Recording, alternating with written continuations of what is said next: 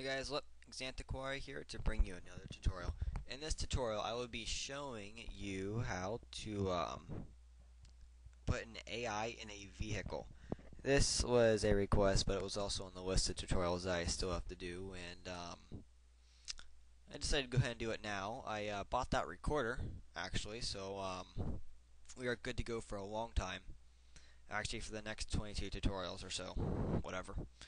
But uh, pretty simple. We're just going to put an AI in a vehicle, and you can see my map right here I've been working on. I haven't really done anything with it besides add sand in a skybox. But uh, yeah, that's pretty much the point of that. On, on with the tutorial. Tutorial number 11. First thing we're going to do is go up to uh, View, View Open, Pane. I'm, I'm just going to call that panel just because it makes me feel better, really.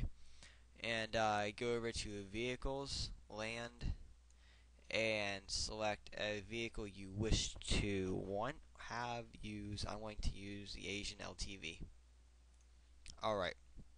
And you're also going to need a character. Select any character you wish. I'm just going to select this just because it's very close.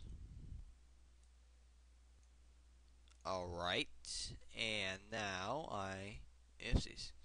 Alright and now we are going to, what are we going to do? Oh yes, we are going to open up our flow graph. Alright, and we're going to go to File, New, and we are going to, the first thing we're going to need is get a start.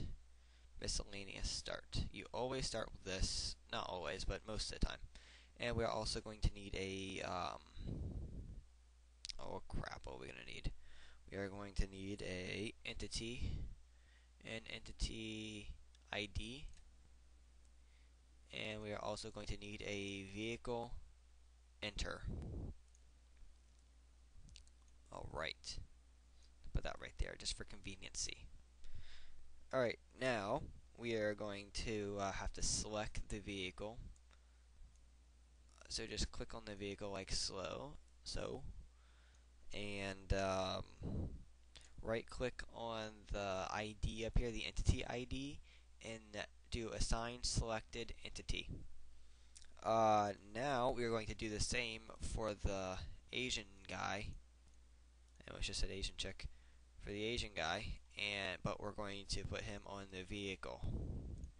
Don't doubt me here. I am being completely and totally serious when I say add him to the vehicle it just works out, trust me. Alright, now we are just going to connect all this. We're going to take ID from the entity ID and put it to sync. And we're going to, no we're not, we're going to take ID and we're going to put that, ah crap. Where's my undo? There it is. There we go, alright. We're going to take ID to vehicle ID and we're going to take output from our start to sync.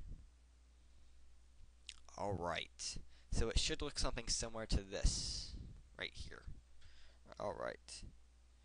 Now, if you go down here to Vehicle, and you press on Seat, which is at, on our input, see any, we're just going to change him to the driver, and we are going to save it. Um, AV2VE. Just going to overwrite it, and we're going to go out here, and we're going to see what this bad boy does he gets in the vehicle like so, and he sits. So uh, that's tutorial number 11. Um, in tutorial 12, I'll show you how to make him drive, but uh, that's for tutorial number 12, which I'm going to do right now. As soon as I press stop, I'm going to do that right after it finishes and whatever. But, uh, yep, that's tutorial number 11. Go watch tutorial number 12 to figure out how to make him drive. Xantiquire signing out.